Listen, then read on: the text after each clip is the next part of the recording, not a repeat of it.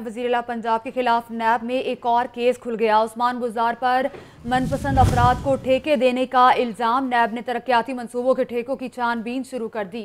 नैब लाहौर को कुछ अफराद की जानब से वज़ीर अला पंजाब के खिलाफ शिकायत मौसू हुई, जिसमें इल्ज़ाम लगाया गया कि आला हुकूमती अहदेदार एल टी ए बोर्ड मेम्बरान और दीगर इस्लाम ज़िला इंतज़ामिया की मुबैना मिली भगत से मनपसंद अफराद को ठेके देकर नवाजा गया है, जिस पर नैब लाहौर की जानब से ठेके देने की तहकीकात शुरू कर दी गई।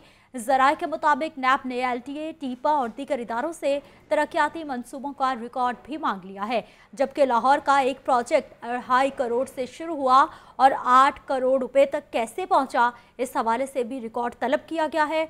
ठोकर न्यास बेग पर जेर तामीर गेट वे टू की तमीर के मंसूबे का रिकॉर्ड भी मांग लिया गया है।